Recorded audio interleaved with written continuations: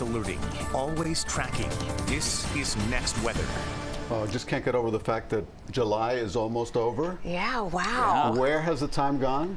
And Uh, why- well, how much hotter is It's it going to get? It's been a slow month for August. me because there hasn't been much weather going on, and we're thankful for it. We've had all these bouts of Saharan air that have been coming in, and uh, we'll continue to get at least one more plume uh, here early next week. But we'll talk about that and how that's going to start changing uh, in the tropics here. There's some showers offshore. I showed you that earlier. Those continue moving off to the north and west, and some of them could clip the uh, coastal areas here, but they're mo moving slower tonight than yesterday, and that is going to you know, just make them take a while to get here. But if you're waking up early enough, as we check in on the uh, morning, we'll see a few trying to make it uh, along the coast, but it's just not going to be uh, much out there. And then we'll transition into inland afternoon storms. The pattern hasn't changed for tomorrow. The storms will still be favoring the western side of the peninsula. It's still going to be a hot day, whether we get 105 uh, for a couple of hours. Um, we may get there, but today we reached the low 100s. I mean, it's just splitting hairs at this point here as far as the heat, but it will feel rather humid, uh, unlike today where we a little bit of a break from that. Rain showers and thunderstorms back in the forecast,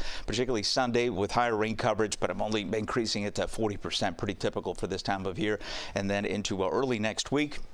We'll drop them again a little bit as some Saharan air uh, begins to push its way back into uh, South Florida. So through the day on Friday, as we kick off your weekend, you see there noon, you're fine for lunch, going outside. By the afternoon, once again, like clockwork, showers and storms will develop over the Everglades. Some may clip and push back a little bit to our western uh, neighborhoods here, but I don't think they're going to manage to make it all the way into the coast before everything then shifts back to the uh, western side uh, of uh, the peninsula here. Notice a few more showers through the overnight as we head into a Saturday. Then we'll begin to see a little more coverage as we check in on the uh, tropics here. As uh, we talk about, you know, we've been um, blessed with Saharan air uh, so far this uh, month. Not much activity. All these tropical waves have been falling apart. But here comes August, right?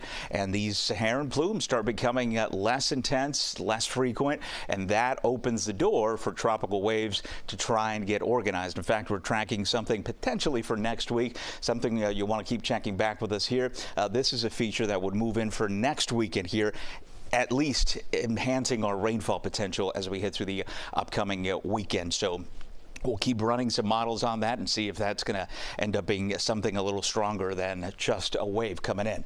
Rip currents are going to be low for you tomorrow. If you're planning a beach day, we're looking good. The Atlantic waters, uh, no problem there. Less than two feet conditions and light chop as well for the Florida Keys as your forecast will feature again. Uh, much more of the same. Rain chances only about 20 to 30 percent. Seven day forecast uh, we'll see the increasing moisture about 30 to 40 percent coverage on a Sunday. I still think if you have weekend plans, we're looking pretty good. Really, it's not until Monday that we get back into some decent rain chances here and some good downpours coming up, followed by just typical coverage for the rest of the week with rain chances at 40.